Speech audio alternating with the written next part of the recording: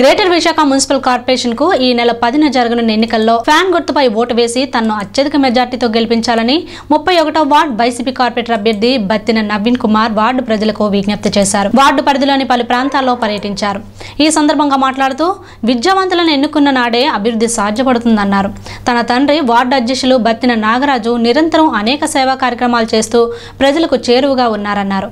కార్పొరేటర్గా తాను గెలిచిన వెంటనే వార్డులోని ప్రజలతో మమేకమై సమస్యల పరిష్కారాన్ని పరిష్కారానికి వార్డు అభివృద్ధికి పూర్తి కృషి చేస్తానని భరోసా ఇచ్చారు. అలాగే ప్రభుత్వం సంక్షేమ కార్యక్రమాలు అర్హులైన ప్రతి ఒక్కరికి అందించేందుకు అండగా ఉంటానన్నారు. అందరికీ నమస్కారం. నా పేరు బత్తిన్ నవీన్ కుమార్.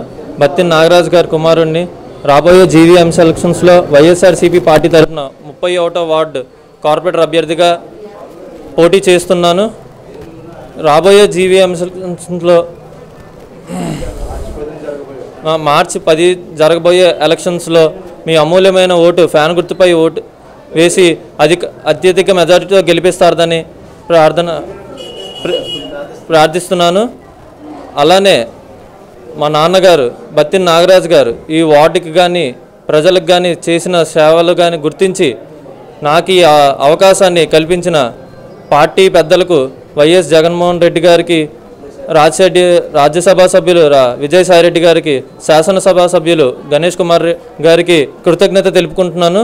సర్వే సర్వేగంగా అభివృద్ధి చెందుతున్న విశాఖ సిటీ వా స్మార్ట్ సిటీని అలా ముప్పై ఒకటో వార్డు డివిజన్ని స్మార్ట్ డివిజన్గా అభివృద్ధి చేస్తాను.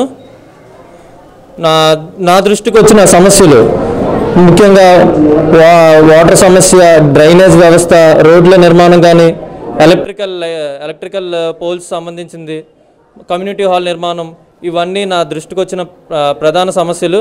వీటిని అన్నిటినీ సత్వరంగా పూర్తి చేస్తూ పూర్తి చేస్తానని హామీ ఇస్తున్నాను.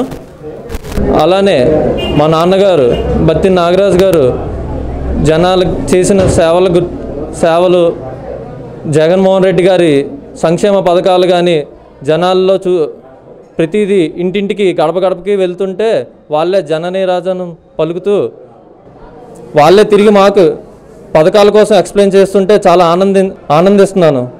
మరి ఇదే ఉత్సాహంతో మరిన్ని సంక్షేమ పథకాలని వాళ్ళలోకి అర్హులైన అందరికీ చేకూ లబ్ధి చేకూరేలాగా దగ్గరుండి చూసుకుంటాను.